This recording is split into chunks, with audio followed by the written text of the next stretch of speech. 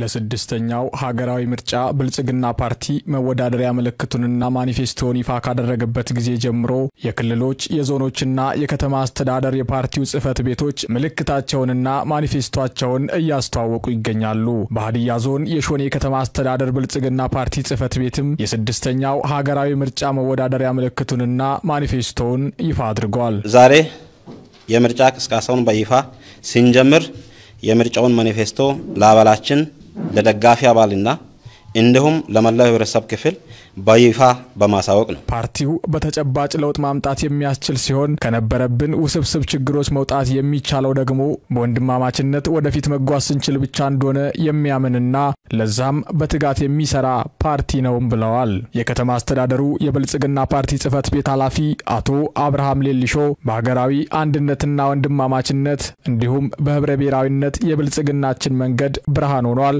ይህንን ብርሃን የያዘ ወደ ነገ በብልጽግና ይሻገራልን ብለዋል። ፓርቲያችን በፖለቲካዊ በኢኮኖሚያዊና በማህበራዊ ዘርፍ ብልጽግናን ለማረጋገጥ የሚሰራ ፓርቲ ነው። ይህን ፓርቲ ቀጣይነት ማረጋገጥ ልማትን፣ ዲሞክራሲንና መልካም አስተዳደርን የማረጋገጥ ጉዳይ ነው። አሁን እያየን ያለው በርካታ በበርካታ ዘርፎች የብርሃን ጭላንጭል ነው።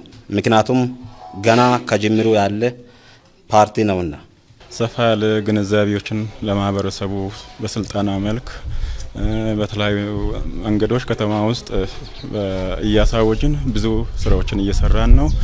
ያው ሰዎቹ ጥሩ ግንዛቤ ስላለባቸው እንግዲህ ያው ብልጽግናን ከዚህ አንጻር የተሻለ እናደርጋለን ብለን በስፋት ያው እየሰራ ነው። ሌት ተቀን ያለንን አቅማችን አሟጠን እየሰራ ነው ያለ ነው።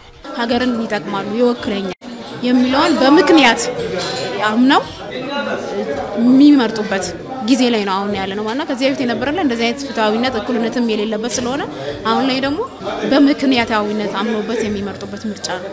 tangible የሆነ ትክክለኛ የሆኑ ነገሮችን ለሰዎች ማሳየት ከዛ በኋላ ሰዎች እውነትም ማን ከማን ይሻላል የሚለውን ራሳቸው ግንዛቤ ጥሩ ስንፈጥርላቸው ራሳቸው ተረድተው ነው እንጂ ከፓርቲዎች ጋር እንደ ወንድማማችነት እንትን ነው የምንሰራው። ምንም ከዛ ያለፈ እንትን የለንም። ግን ያው ያለውን ነገር discuss እናደርጋለን። በዚህ እንሂድ በዚህ እንባባለን እንጂ ከዛ ያለፈ ሆድና ጀርባ የመሆን ነገር ጽህፈት ቤቱ በከተማው ላይ በተለያየ መልኩ ፓርቲውን ለማስተዋወቅና የይምረጡኝ ቅስቀሳ ለማድረግ የተዘጋጀ መሆኑን ገልጾ ከሌሎች ፓርቲዎች ጋርም በመግባባትና ፍትሐዊ በሆነ መልኩ እንደሚሰራ አመላክቷል።